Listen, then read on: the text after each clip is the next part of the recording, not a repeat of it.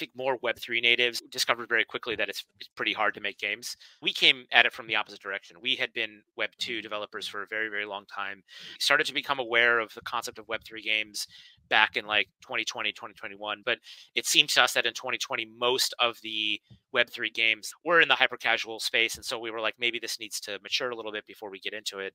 What if we made it like a tri- AAA style game with this, right?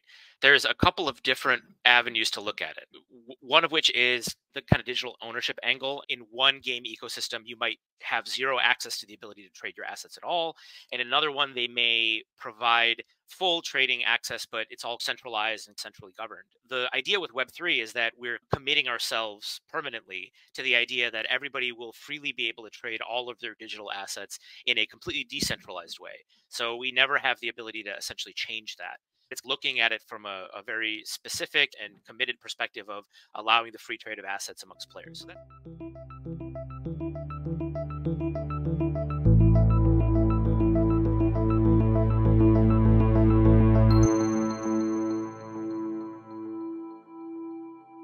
Welcome to another episode of the Untangling Web3 podcast. Today, we're excited to have Dan Nikolaides joining us on the show to share his insights on the intersection of Web3 and gaming. Dan is currently the CTO at Studio 369 and brings with him an impressive CV spanning 20 years in the game development sphere and working for the likes of Warner Brothers Games. Recently, he and the team at Studio 369 have been working hard on Metalcore, a new game that gives players the option to connect a Web3 wallet with their own in game digital assets. Now, this is such an interesting idea and one we've actually discussed quite a few times recently on the podcast. I've certainly got a lot of questions, so let's just jump straight into it. Dan, it's a huge pleasure to welcome you to the show. Thanks for having me. Nice to be here. Hey Dan, how are you doing today? Great. Yeah. Looking forward to it. Good. Glad to have you on. I am an avid gamer, as is Jack. We're super excited. We always say that gaming kind of pushes the boundary on this kind of stuff. So it's really nice to have someone who's actually involved in pushing that boundary with Web3 and gaming. Jack gave a little hint as to your resume, what you've been working on. But could you tell us a little bit about your early career, how you got into some of the work that you're doing now? Yeah, I, started off my career in the game industry, traditional PC console games. Got my start at Midway Games, working on the likes of Mortal Kombat and Stranglehold and a bunch of early Unreal Engine 3 titles in the core technology group there. Eventually moved off, uh, joined Warner Brothers when Warner Brothers acquired Midway Games, and then moved off and, and started my own companies. Worked for kind of smaller indie developers as well, like Phosphor Games, and wound up here with my two co-founders, Vic Lopez and Matt Candler, who I had worked with previously. And yeah, now we're exploring the fresh new world of Web3 games. That's a perfect inroad. So obviously, this is a Web3 podcast. You've been in the gaming space for 20 years now. Now, what do you think that Web3 actually has to offer for gaming generally, and how important is that? It's very interesting. There's a couple of different avenues to look at it, right? So one of which is the kind of digital ownership angle, and that there's kind of a very wide uh, list of features that kind of traditional Web two developers would uh, provide to their customers. Uh, in terms of being able to share or trade their assets. So, in one game ecosystem, you might have zero access to the ability to trade your assets at all. And another one, they may provide full trading access, but it's all centrally or centralized and centrally governed. The idea with Web3 is that we're committing ourselves permanently to the idea that everybody will freely be able to trade all of their digital assets in a completely decentralized way. So we never have the ability to essentially change that. So there are analogs in Web 2, but it's looking at it from a, a, very specific and committed perspective of allowing the free trade of assets amongst players. So that's one angle you could take take from it. Another angle you could take from it is a little bit more of an experimental angle, which is how much of this gameplay can actually happen on chain. How much can you develop actual decentralized design, right? The what I mentioned before is more like just the digital assets, but the core of the game could be identical to what you would have played in, in a Web 2 version, right? It could be just essentially Call of Duty, but the assets instead of living on somebody's database, they live in eh, on a blockchain. This other idea is more like could we develop game design concepts and ideas and mechanics that actually play out within the blockchain themselves. And that is a little bit uh, more kind of experimental and future looking and interesting. There are some people who are doing it in a very limited way, but I think that's also a separate angle that a lot of people are, are, are mm. interested in. Yeah, uh, that's a great summary. I think we recently covered, as I said, this idea of Web3 and gaming. In a recent episode, and we talked a lot about applying Web3 to traditional games, which I think is on the first point you mentioned, right? Making the in game assets, the in game currency, something that's more transportable, it's portable between different games. You can take it out and use it in the real world for other things, that kind of thing. And then, yeah, that experimental side is something we only really touched and scratched the surface on at the end. I think that's really interesting as well. So, w- what kind of use cases do you think are there for that more experimental side. So where you are putting logic on the blockchain. So one that comes to mind that I've seen is doing things like poker. So where you have random number generation for dealing a hand of cards, it's a nice to have a kind of provably fair random generation of that number. But are there any other use cases you know of for the gameplay pieces that involve blockchain directly? Yeah, there's a lot of interesting applications to the social aspect of games, like SocialFi type stuff and governance in games. There's a lot of scenarios where games maybe evolve over time the meta game changes the parameters of the game change and that affects how pl- players can play and allowing the community to use the blockchain as a kind of means of governance in order to help affect those changes uh, is an interesting application. Um, the other one is basically just this idea that there is it's almost the, game of life are you guys f- familiar with game of life? Mm-hmm. like it, it's like this this this kind of simulation system that you let it free and then it does whatever it's going to do and plays out. So from a game design perspective it's it's a very interesting challenge because let's say you're going to deploy a game of chess to the to the blockchain that's like some distributed massively multiplayer chess game or something like that. Once you develop the rules and deploy it players will figure out how it works and they'll be able to figure out the mechanics and then figure out what the best kind of approach to the game is and you as the game developer can't really change that right so mm-hmm. it's th- this kind of new idea of, of iterating on different versions of kind of a static set of rules that you then release into the wild and then maybe you can make some changes to it in, in the next run but for all practical purposes you have no access or control over over whatever happens in the version that you deploy and all the players are playing right? So there's a lot of interesting challenges. There's a it's almost a bit of a game like conway's game of life like i, I alluded to almost for game developers where we're like we're hmm. almost like I, I wonder what this is going to do when i release it into the wild right? So yeah there's a lot of really interesting experimental stuff that that's going to happen in the future with web3 yeah, that's really exciting. I think like when you immediately think of the Web3 space and how it applies to gaming, like ownership of assets is so important. We you know any gamer knows how important it is to have skins, like the kind of the social currency you get with displaying that, and then the ability to verify that. Like the idea of being able to take that from your one profile to the next profile and prove who you are between games across the whole place is getting into this metaverse space, which doesn't really exist as a lot of people know, but people are pushing towards that. I think that the concept you touched on there around the idea of how much can you put on chain. I love the idea idea of putting assets on chain, making decisions on chain collectively when you have like a, a, month to make a decision, for example. But I saw like early days, people were saying, okay, every single move of your first person shooter is going to be on chain. And you're like, is that really possible when you're shooting a bullet every microsecond? Is that actually possible? definitely not uh, not right mm-hmm. now so so yeah so there's a a, a pretty uh, a huge kind of gradient between web 2 and web 3 right uh, mm-hmm. and there's people using terms like web 2.5 and and anything in between, right? Mm-hmm. Um, mm. And I, I think like the easiest integration for Web3 is to basically just do what, what we mentioned earlier, which is to take, uh, for, for all intents and purposes, an existing game that runs on traditional Web2 infrastructure, hardware, engines, etc., and um, essentially swap the inventory system for a Web3 based inventory system, right? That's basically what we're doing on Metal Core.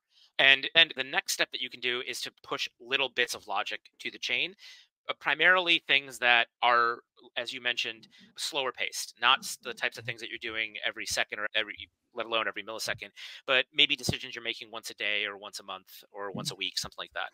The trouble with the blockchain, obviously, is that every transaction has a cost. There's still, even though on things like layer two, those costs are significantly lower than they would be on on a layer one like Ethereum, they're still not quite at the level that they would be on a normal uh, Web two database that's highly optimized. But even on a normal Web 2 database that's highly optimized, you wouldn't try to write a first person shooter that runs on that, right? So I, I think that kind of blue sky idea that a first person shooter with all of its logic will run entirely on chain is really probably never going to happen. There's just no mm-hmm. real use case for that that makes sense. But there can be a bunch of logic that gets pushed to the chain, like logic around uh, if there's a persistent world about like the effect that your actions have in the world, assuming that those actions are infrequent enough that the rules around them can be applied to, to on-chain actions, right? So, and those are the types of things that we're interested in exploring too as we expand from maybe more of a Web 2.1, 2.2 game and kind of push the envelope and get closer to Web 3. Those are the types of things that we're going to be working on. Yeah, the one that me and Jack like often talk about is the idea of user generated content. Every gamer knows that the best content by far is made by the people that play the game and love the game. And the idea of rewarding people for that user generated content, you spend X amount of time in that environment and your you know, micro incentives potentially for actually being in there. I think that's a really powerful concept. The other one we talked about is loot boxes. There's a lot of kind of a lot of issues right now legally and regulatory around loot boxes. Are they legal? Should they be legal? Should kids be betting on these things? But how do you have transparency into how are the odds actually fair? Are people being rewarded in the way that they're being promoted? And that's another big angle. I imagine that maybe a lot of Web3 developers are looking into this space. Yeah, for sure. I think that definitely loot boxes is, is continue to be a, a touchy subject but yeah in terms of fairness uh, that's definitely something that that we're very interested in making sure that everything is like provable on the web3 side and that most of the like this kind of idea that as you play you're rewarded for play in the same uh, means that you would be on a traditional Web 2 game, right? As you play a, a, typical Web 2 game, you're rewarded with some form of in game currency or mm-hmm. some progression mechanic. Take World of Warcraft, for instance. As you play, you, get, you earn more gold. Typically, what you would see in, in traditional Web 2 games, you would see pretty much every game that has a significant monthly user base would have this issue of even if it's against the TOS, there would be gold farmers, right? There would be people who are playing the game to try to earn gold and then sell it on uh, illicit markets mm. in order to make money, right? And I think it makes a lot more sense if we design our game around this idea that's going to happen, right? Mm. We, we accept the fact that's going to happen. So let's build that into our economy and try to design it in such a way that it, it isn't exploitative, it isn't Im, like completely imbalanced. It still allows people who are just interested in, in having fun in the game to have fun. It still allows for this behavior of I may be like a working parent who only has a couple hours uh, a week to play this game that I'm really interested in, and I have some disposable income to throw at at progressing faster than everyone mm-hmm. else. Mm-hmm. Ultimately, as game developers, we still have to make money. It's the, still the free to play model, right? Mm-hmm. Um, and the free to play model still has some those aspects of hopefully we make we strike the right balance of it's mostly fair for everybody as as much as we can make it and there are some people who can pay to not necessarily pay to win we don't we never want it to be pay to win but pay to progress a little bit more quickly and not have to sink as much time into the the mm. progression mm. as everyone else right or maybe pay to have something that's like really just some really cool cosmetic or something that really is just bragging rights right mm-hmm. so that's the way we're looking at it and i think that's uh, coming from a web 2 background we wanted to keep it as close to the Web 2 design paradigm as we could, and then just implement the things that naturally came with Web 3. Yeah, I think that's a very smart approach to take. I'm curious because you brought up this idea of play to win, which I think is a, a, problem a lot of people have with existing Web 2 games, right? Where the more money you put in, the better equipment you get in the better skins you get. And it becomes harder to compete if you don't actively pay more money than the actual game price itself. So, one of the things, as you mentioned, play to earn, that's one of the new things that I think Web3 is trying to introduce this model of earning currency or, or, tokens, native tokens for playing games. And I think that people are seem to be pretty split on that one as to whether that's going to work. But I'm curious. Another one that I, I think you haven't mentioned is around things like micropayments. And that's something that you get with Web3, or at least scalability issues aside that are being worked on the ability to do micropayments is, is something interesting, I think, because as an example, I've seen a game where you can play simple arcade games, but you your position on the leaderboard then gets you a, a, share of other people's paying to play the game. So there's interesting dynamics you can do there. I'm I'm just curious to get your take on how how, how much of that side do you think we will see in the future as well? And and and also maybe on the play to earn side, do you see that as being a viable model? Which side of that debate do you come down on? Yeah, there's a lot of different approaches to this. So there's a huge spectrum of, of ways that people look at it. The way we look at it is play to earn is not really what we're after. We're not looking at the people who play our game as earners. We're looking at them as customers, right? We're looking at them as traditional gamers as you would in a Web2 game, right? Within any sort of Web2 free to play, Web2 economy, there is a huge aspect of or, or function for this idea of progression and players having these feelings like they're progressing and that they're participating in the economy of the game better than everyone else and they like that kind of competitive aspect of it. And so that portion of, of things is how we want players to think of the game that they're really that it's a game at heart right? In terms of making it pay to win it, it depends on what you define as pay to win right? What we really want is for anybody who plays the game completely for free to feel like if they're skillful at the game to feel like they have a sporting chance in every encounter that they might have mm-hmm. now they might not get access to exclusive tournaments because they're not a premium member. They might not get access to cool, really cool cosmetics. Their barony might not have nobility status and et cetera, right? All these other aspects that play within the kind of the larger metagame framework of the game. But within any sort of 1v1 firefight, we want to make sure that if you're if you outskill the other guy, it doesn't really matter what you have and what he has, you're gonna win, right? So that's the way we're looking at designing it. But yeah, like I said, there's so many different ways to approach it that there's definitely people out mm-hmm. there who are looking at it more from a, a, play to earn perspective. I'm not really sure how that's going to work out. I, we're game developers at heart, and so we really don't want to consider any of the people who are interacting with our token as earners. we'd prefer to just think of them as traditional customers. Okay, so we've talked about the game at quite a high level. Maybe it's time to actually get into the nitty gritty of what the game is. I have seen that this has been described as something between Titanfall and Destiny, and I have logged so many hours on Titanfall 2. So that's like a big bode for you guys. Can you tell us a little bit more about Metalcore? What's the premise? What's the vision behind the game? Yeah, so the kind of backstory of Metalcore is humanity loaded up these four generation ships to a distant star and there were colony ships basically right? And there were a series of disasters en route and three of them lost communication with one another. So over the course of a thousand years they all developed separate cultures and very bizarre and different from one another and when they landed naturally they were they were at war with one another. So you take the role of somebody on the fourth ship who emerges from cryostasis and realizes that everything on this, what was supposed to be this utopia, is a, a, state of perpetual war, and you're being sent down to basically participate now. So the world of Metalcore is pretty richly defined. Uh, in terms of the gameplay, it's effectively a third-person shooter MMO.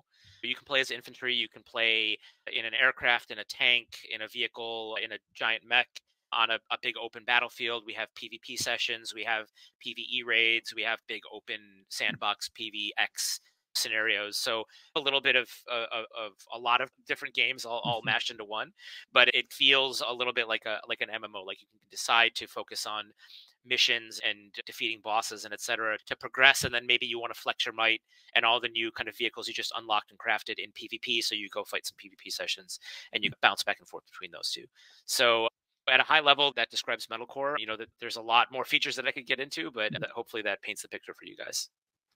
Yeah, I did catch some of the gameplay footage, and I thought this is definitely something up my street. I, I saw some gameplay of the of someone in a mech suit, and I was like, "Oh, this is like Edge of Tomorrow. This is very cool." So yeah, I, I think one one thing I want to ask you about is the choice to go with a game that supports Web three in a sense. I think when a lot of people have developed games that call themselves Web three games or embedding Web three in some way, a lot of the time in the past, the gameplay and the story and all the kind of the typical classical gaming elements that people really care about have been neglected and the actual quality of the game's been le- left to the wayside basically. So what way round did you approach this? Did you start with a really great game idea in mind and then think how do i bring some of those web3 benefits like a digital asset ownership to it? Or did you kind of get orange pilled on bitcoin and thought oh no i want to do something around crypto and Web3? Uh, which way around did that happen? Yeah, it's a good question. So, so I a lot of the projects that you're seeing, I think uh, you're referring to are stuff that has come from I think more Web3 natives and people whose core competency is really like Web3 marketing and community building and et cetera. And they saw the natural fit with Web3 and games and thought, let's start a game project and probably discovered very quickly that it's, it's pretty hard to make games. But yeah, we came at it from the opposite direction. We started off on this idea with like i said we had been web 2 mm-hmm. developers for a very long time had, had be, started to become aware of the concept of web 3 games back in 2020 2021 but hadn't really thought much of are we going to be able to try to pull one of those off? Because we didn't want to stray into the realm of hyper casual like we're, we're all relatively hardcore game devs, right? Like we work on console PC titles, first person shooters, action adventure type stuff. We have worked on mobile games and hyper casual stuff in the past, but it seems to us that in 2020, most of the Web3 games that were coming out and that we're seeing a lot of viral response were in the hyper casual space. And so we were like, maybe this needs to mature a little bit before we get into it. Towards the end of 2021, we had shipped a mech VR game for uh, Quest 2 called World of Mechs. Pretty fun. You, you, can check it out. And it was just like a 4v4 mech, first essentially mech shooter. And we were like, okay, we have a, solid foundation for fun mech gameplay mechanics here. What if we made a, a bigger PC slash console like the tri- AAA style game with this, right? And at the same time, some investors that we had worked with before were interested in developing a more kind of core PC console Web3 game. And so they were like, well, let's marry these two ideas together. So we mm. had the concept of a large open world mech game back in like mid 2021, and we started to develop it into what if it was a Web3 game, essentially, right? So a lot of there are, like as you alluded to, there are a lot of I think traditional Web2 games that like mid cycle flirted with the idea of adding NFTs or adding a Web3 like mid development cycle. We did that right at the beginning of our development cycle. So we had this hmm. idea, we had these people who wanted, were interested in developing a Web3 game, and we just married them together. And that's the start of Metalcore. Yeah, that, that makes perfect sense. And it's good to know that you, you had a strong buy in for both the core gaming elements as well as the, the, the necessary parts of Web3. And I want to ask a bit more about that. So specifically because we talked at a high level about the kind of options you have with games what web3 things to add. So specifically can you tell us a bit more about how metalcore does utilize things like digital assets and web3 and also one thing i noticed when i was looking at the game is that there's an emphasis on them being optional for the user which from, from my first glance it seems like a really smart move. So you don't alienate anyone who this isn't important to. But yeah i'd like to know a bit more about the thinking behind that as well. Yeah we knew early on that we needed to because we're we're core PC hardcore kind of PC console game, we needed to try to bridge that gap between Web three and Web two users. That we would never really grow to the degree that we needed to grow solely on the back of hardcore Web three gamers alone. So early on, we made the decision that this game has to be playable as a free to play Web two game if if you want to. So that that's what we set out to do uh, connecting, creating and connecting your wallet. We're launching with, so we're partnered with Immutable for most of our Web3 side integration, and we're using their Passport wallet system, and their NFTs and, and tokens will be on zkEVM as well as Bridge from L1. But early on, we made the decision that you could register and create a, an account uh, and play Metalcore without ever connecting a wallet. Obviously, you wouldn't be able to earn any tokens. You wouldn't be able to engage in any of the Web3 side of things. And our goal was to make it so that if players were interested in joining in and started playing it as a Web 2 free to play player and thought, this is super fun. I'm going to spend a lot of time on this. Why would I not create a wallet and join in? I'm just missing out on my daily mm-hmm. rewards mm-hmm. and on, on the ability to tr- turn these into NFTs. I'm just leaving these features on the table, right? In terms of how we're using it, we, we do have a, a, a single token. It's a capped in-game utility token. We're using it as basically our premium currency in game, right? So if uh, as opposed to in a typical free to play game, you're, you're buying gems or whatever you're doing with fiat, and you're using those gems in game to speed up your repairs or your timers or whatever, make everything go a little bit faster for you so you can get back in the game. We're doing that, except you buy our equivalent of gems, which we call shards, using our token. And then as you play, you're rewarded depending on how much you're engaging with the Web3 side of things. You can participate in those reward pools for the token as well. So every week we'll be giving out X number of tokens as rewards through our treasury. And then that's the cycle, right? Players spend the token to get the premium currency. It goes back into the reward pool. And then at the end of the week, some percentage of that reward pool is released back to players. So creates this thing where the players generate the economy and they may choose to sell that token or they may choose to put it back into the game and continue playing more what the choice is theirs right? So the nfts themselves we we did this initial infantry genesis mint of uh, infantry nfts on layer one ethereum and we provided this bridge path down to zkEVM once we started working with immutable. Future mints will likely straddle both layer one and immutable, but they'll all be usable in game. They're all assets that you can play as. So they're all vehicles or infantry characters in the game that you can trade and play as. And uh, yeah, our goal is to basically mirror the player inventory in the Web3 and the blockchain. This seems like honestly a perfect marriage of like Web3 tech and gaming. like, I think I just want to have a go on this now and give it a whirl. I want to know a bit more about, like, say, the future roadmap of some of the things you're doing at Metalcore. You talked a little bit about World of Mechs, and that kind of immediately makes me think of VR, metaverse, all this kind of hype cycle stuff. Do you buy into the idea of metaverse? Does that fit into the roadmap? Can you tell me a bit more about that? So it's it's when people talk about metaverse, I think that they're all talking about different things. Effectively, mm-hmm. Fortnite is a metaverse, right? Roblox is a mm-hmm. metaverse. So there, these things already kind of exist. Really, what we're talking about when we talk about metaverses is we're talking about large UGC or large ecosystems that encourage other people to come in and help create for them. Web3 does a really good job of empowering that because it creates this this kind of open standard. For instance, I can't stop somebody for from creating a fan app that allows you to view your metalcore inventory on your mobile device right uh, literally anybody can go and do that right now and i used to use this website called wowhead back in the day when I played played World of hmm. Warcraft. And Blizzard shut off access to that when they switched to their kind of WoW Armory support and stuff. And I was really sad because I had supported this community team in creating this fan run website and, and being able to look at my character and theory craft different builds and stuff like that. And the interesting thing about Web3 is that you're basically committing to this guaranteed open ecosystem where you cannot stop people from creating these add-ons to the ecosystem. Now, the question of whether or not they can participate in the economy or whether they're incentivized to do that is a different thing right so so finding the right structure for incentivizing people is a really important thing i think for web3 projects that want to make that jump into the idea of a metaverse i think the term metaverse is a little bit grandiose for what we're really making. I would call it more of a game IP or a game universe, right? We have we're mm-hmm. developing a metalcore game IP or a metalcore game universe. There may be other games that take place and other people may develop some of them. And finding kind of the right balance of kind of token distributions and rewards and etc.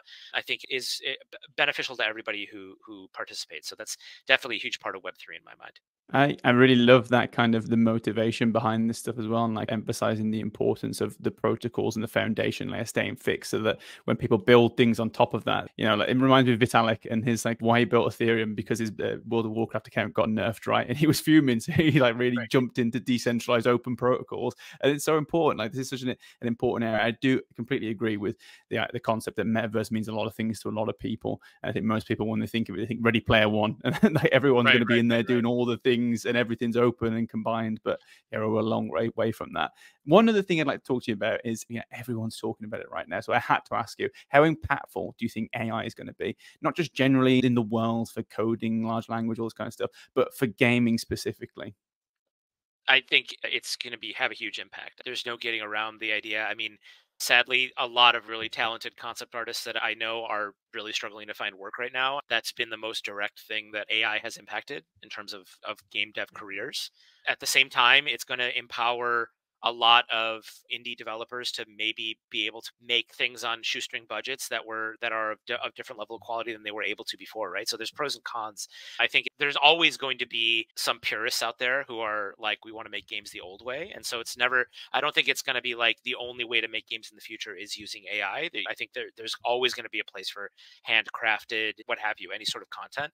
But there's no denying that people are going to start especially as AI just becomes so good. I mean, we're not really using AI extensively right now, although we have some thoughts about not necessarily AI content generation. We have more thoughts about how we use AI with our dynamic mission system as almost more like a Left 4 Dead style game mm-hmm. manager, mm-hmm. where it really paces the player and, and tries to learn how to provide encounters for the player that that are that keep kind of their intensity curve in the kind of uh, green zone or whatever, right, mm-hmm. in, in in an area where we want it to be. But in terms of like AI generated content, there's no doubt that people are going to start replacing a lot of writing staff with a, a, lot of concept staff and in the future a lot of art maybe even a lot of programming staff right? So teams will be smaller for sure. It'll impact the industry as a whole. And yeah it's, it's really hard to say how fast it's going to come but i would be very surprised if it didn't have a huge impact in the industry within the next two or three years. Yeah i mean if the current rate of developments in ai is anything to go on then yeah we don't have that much time ahead of us eh, before these things do make a huge impact. I, talking about UGC again as well and the relation with AI. I think in gaming, this is an area where this will potentially go both ways in particular because you'll have people being able to generate their own content for games and in games but then as you said you you have you can have games respond to you in a much more convincing dynamic way right you can think of open-ended stories that keep generating content for you to explore. So I think that's an interesting angle as well. While we're talking about the future then, so I know it's not all rosy, right? We we've spoken about a lot of good things in, in, in Web three gaming. Essentially, what do you see as the main obstacles to Web three games or games like Metal Core that have a Web three component? I mean, I feel like you've already solved this for yourself by making it open uh, in in a Web two sense and a Web three sense, but in, in in a broader way, what do you think the obstacles are? Like, is it demand? Do you think the demand is there? Do you think it'd be hard to get people using the wallets and things like that? What for you is going to be the big challenge? I think we're over the hump of traditionally that was UX. Early Web3 UX was really brutal. Trying to play Axie Infinity in 2021 was like, I have to buy these extremely expensive NFTs and then bridge them and then make sure that my wallet is mirrored on both sides and has enough tokens to pay the gas fees. And it's, it was just a, a nightmare, right? We've, I think we pretty much have gotten over that hump of UX. Basically, creating a, a wallet at this point is essentially like a one click thing that you can do uh, custodial or non custodial. Things like immutable passport have solved this. So I don't think UX is, is the main barrier anymore. There is still going to be some reticence from the Web 2 crowd that doesn't want to come over to Web 3. I think that's just a matter of time. I think you're seeing a similar kind of reaction in the market as you saw with the advent of free to play, with mobile games, with even like Steam, right? Like there, I remember a time when a bunch of gamers were like, wait, you mean I have to buy this game on Steam and I don't even own a physical copy and they can revoke my access to it at any time and no thank you, right? Same thing happened with the advent of free to play, same thing happened with mobile games, etc. So I think the same thing's happening right now with Web3 traditional gaming communities are not interested in it and i'm hoping that games like ours can start to start to bridge that gap because i don't think there's anything to be inherently scared about in web3 i think that there are some historical issues with web3 that that we have to be honest about we're, we're past the, uh, the, the problem of the environmental in, impact, which was a very real problem in 2019, 2020. But with the advent of layer twos, it's not really an issue anymore. The other big eh, thing that is a valid concern is that there are it's still being so early in the cycle of regulation and so so young in the industry like there's a lot of scams in web3 and by its decentralized nature it's very difficult to completely eliminate all scams and so we have to mm-hmm. Work a little bit extra hard in making sure that people will trust us essentially right? So i would the answer to your question is basically like fixing this go to market pathway for game developers. It's pretty hard to publish a game in web3 not necessarily from a technical perspective, but just from knowing the right path to take. There's so many blockchains you could be on. There's so many approaches to the way that you could structure your tokenomics and monetize your game and who to work with and partners that you could have and etc. So I think like it, it, it's very complicated and it's a very nascent industry for games. So just helping the game dev industry figure that out and, and navigate that will be huge way to onboard more game devs to become more comfortable in releasing good games on web3 and ultimately that's really what will change everybody's mind is when there's enough good games on web3 that people will just start to see oh this is just why wouldn't i want to play this? Right?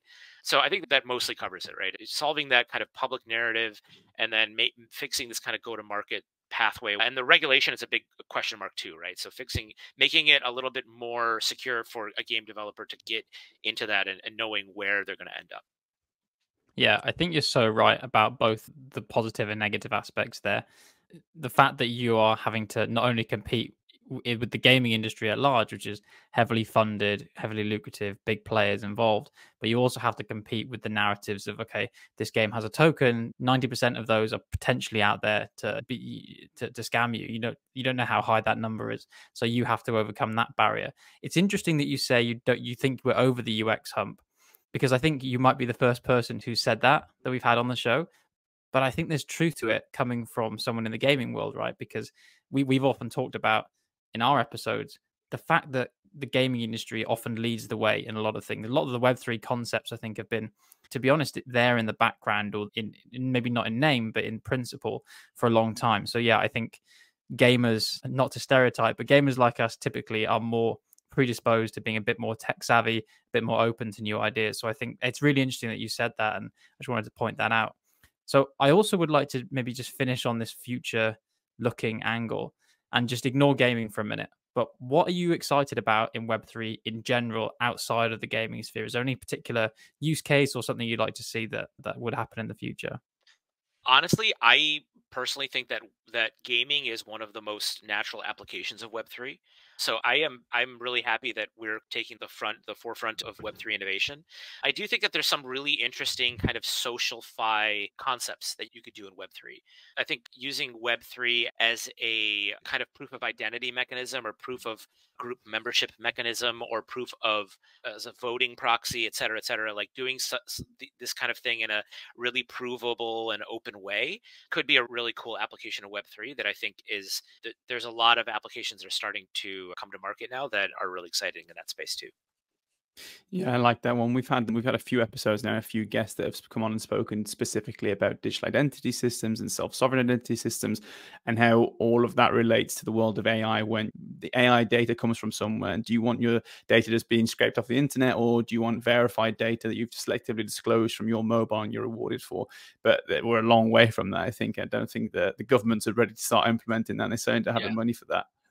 right. But Dan, we're coming to the end. Like this has been such a fantastic episode and so informative. We have a section now where, with in which we have two questions basically that we ask all of our guests, and we like to see how the answers vary over time and depending on the person and the background themselves.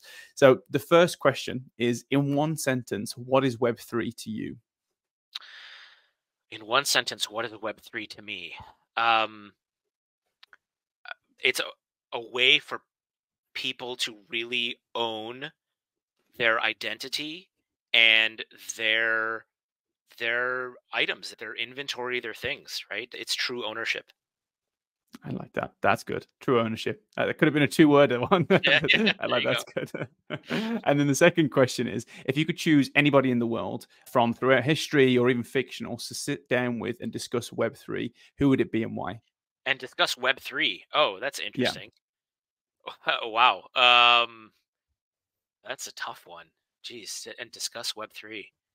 Hmm. Um, I don't know. I uh, maybe Alan Turing, right? Because he's one of my idols, mm-hmm. and I think he'd be really fascinating. But if, maybe I would. I'd probably prefer to discuss AI with him. But Web three, I think he yeah. might be interested in as well.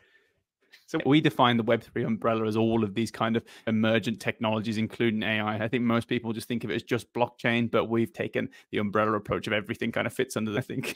sure, there you go. Then definitely Alan Turing.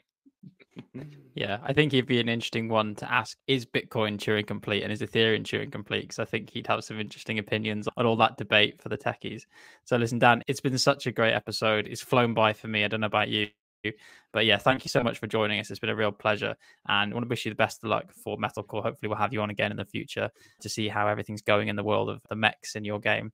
So yeah, and all that remains for us is to say to our audience, thank you for listening, wherever you may be. And join us next time as we entangle a little more Web3.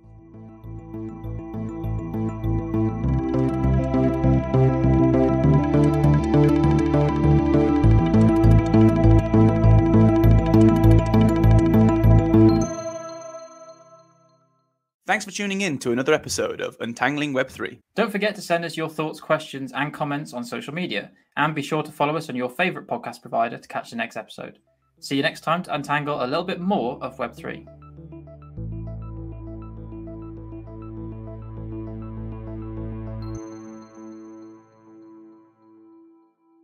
The views we express here are our own and do not reflect the views of our employers.